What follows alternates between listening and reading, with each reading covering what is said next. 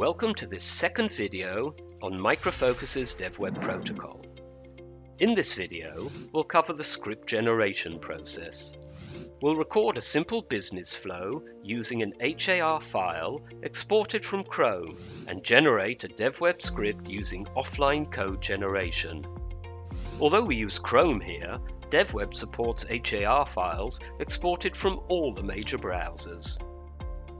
Let's open the Chrome browser and its developer tool. We don't want to lose network communication when navigating between pages. Let's make sure that the Preserve Log option is checked. We should also make sure that the browser cache is disabled. Let's verify that the Disable Cache checkbox is selected. We'll record a simple business flow using the Advantage online shopping site. In order to have all traffic recorded, we need to make sure that the browser has finished downloading the current page entirely before we navigate to the next page. We can do this by observing the Network tab and making sure that all the requests are completed before navigating. We'll choose Tablet. And we'll buy three tablets. Now let's go to the checkout screen.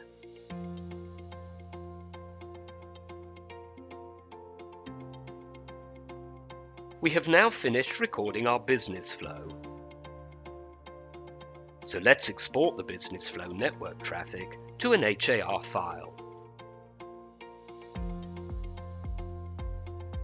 Now we'll generate a DevWeb script from the exported HAR file.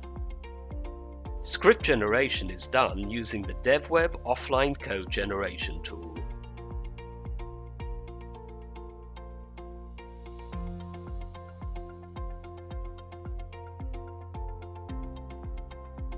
The DevWeb script is generated under the Scripts Advantage Online folder. Let's see the result.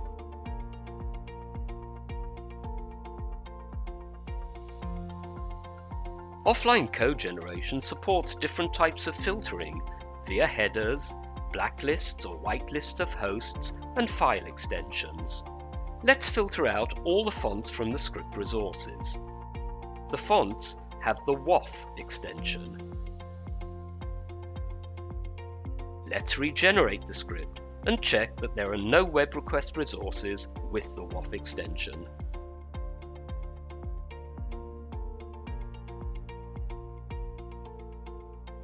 The code generation log and snapshots can be found under the script's CodeGen folder.